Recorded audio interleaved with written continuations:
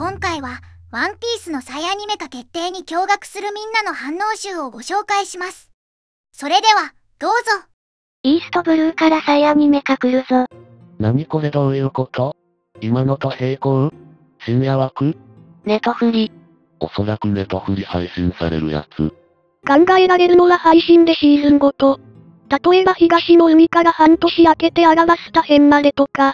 まだ原作もアニメも完結していないのに異例の事態じゃないこれ配信見て目を疑ったがどうせなら完結してから新キャストでやってほしかったな今の作画で昔のアニワンが見れるってことですか？それエピソードオブシリーズでよくねえかエピソードオブシリーズは結構縮小しているから実は見るにはおすすめしなかったりする。今なら1話に歌練り込まれそう。個人的にはそれもそうだしロラーや海軍の描写でめちゃくちゃシティアレッド先生を出しゃばらせてほしい。映画キャラたちをもっと派手に出演させてくれたら最高なのでお願いします願望。そりゃどの章も長くても3クールの尺で作り直せるとは思うけどそれはそれとして原作進行中にリメイクとか聞かんぞ。すごすぎるな。アニワンと語り分けるときザニワンとか言えばいいんかな。半端なクオリティじゃ肩透かしだしプレッシャーはすごいよな。声優はどうなるんすかね？言い方良くないかもだけど引き伸ばしも前回の振り返りもない純粋なワンピースになってくれそうだから楽しみ。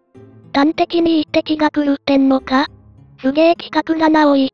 なんか制作会社のコメントでスタッフ募集しているけどいつになるんだ？ネトフリか独占配信じゃないといいけど多分ネトフリだけなんだろうな。中途半端な再アニメ化くらいならネトフリックスで金かけてやった方がいい。公開までまだまだ先って正直中の人的な意味で不安しかない。中の人変えるんじゃない？声優陣は桁から発表されたし。まさか CG アニメとかじゃないよね？昨今の鬼滅や呪術みたいなレベルを求めてもいいのかい？まあ制作ウィットだしいけるやろ。キャストは現行アニメ続投かな？さすがに和の国まで行くと東映版も力入れた作画になってるしどこまでやる予定にしてるんだろう。とりあえず東の海編だからそれ以降はネトフリの視聴回数に合わせてじゃないかな。今だから散りばめられる伏線とか気づいたファンがニヤッとするような背景とか小ネタとか演出とか色々できそうだもんな。楽しそう。1話から今のレベルの作画でテンポよくリメイクしてほしいけど声優さんは変わらないでほしいしなぁと常々思ってた。期待していいですか？ドレスローザや和の国の引き伸ばしをなくした本誌に忠実なアニメってこと？エピソードシリーズで何回もリメイクしたのにまたリメイク？引き伸ばしとかアニオリを全廃したリメイクは確かに待ってた。ドラゴンボール界みたいワンピース界をやるんじゃないのか。今から作り始めておけばアニワン最終回直後に間に合うのかな。YouTube 一挙配信の同説人数で考えたらダブル7とかマリンソードあたりの注目度が特にすごそうだ。おばちゃんは確定だけど声優はいろんな意味で不安だなほんといろんな意味で。変えてほしくないけどやばいという意見もわかってうなるわ。引き伸ばしゼロの新作アニメは嬉しいけど、その効果がはっきり現れるのって空島編あたりからじゃね？アラバスタあたりまでは普通にテンポいいし。原作では好きだったけど作画や引き伸ばしがきつかった DR 編のリメイクってだけで自分は嬉しい。東映、お前船降りろ。残念だけど東映は船降りてないぞ。ザ・ワンピース制作委員会が株式会社集英社、東映アニメーション株式会社、株式会社フジテレビジョンこの3社になってる。未制作がウィットスタジオが担当するだけ。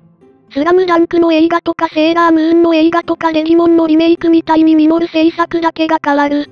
まあアニメのワンピースの版権持ってるからな東映。東映が関わらないワンピースはないやろ。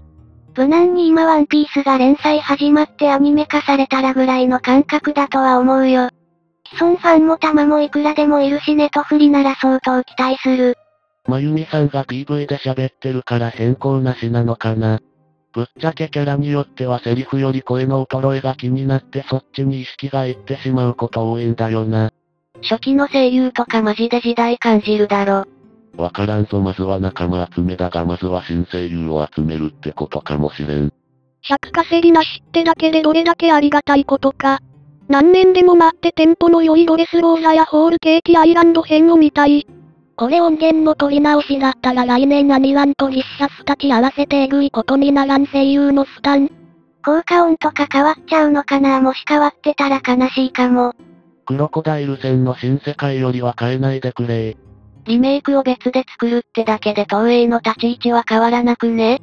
頂上戦創造編までがリメイクされるってだけで最高すぎない？この変作が崩壊と引き伸ばしきつかったからいいテンポかつ良質作画になるなら独占でも自分は許せる。イーストブルーはキャラデザが今と違うからそういう意味で普通にリメイク楽しみだがな。他の辺をって言われるのなんか微妙な気分だ。ウィアーの SE がなくなるってこと？イーストブルーのメンツは今の声のままで大丈夫やろてかきついのはフランキーくらいだし。今まで部分的な再アニメ化はしてきたけど今度はネトフリ限定配信にするなら声優陣層代わりしそうだね。声優さんのあれこれが難しくねえかとは思う。いや今でも変わってる人は多いんだしエンタメ的には避けられない話なんだが、お年を召した方が多い分リメイクで声変えると悩ましい。綺麗な現代化された作画で引き伸ばしのないアニメのワンピースが見れるとか実現したら感動ものだろ。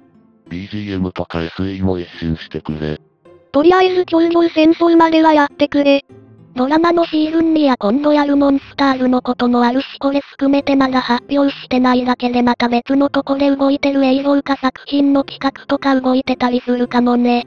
おいおい実写ワンピもあるのに最高かよ。心配な部分もあるけどその何倍も嬉しいわ。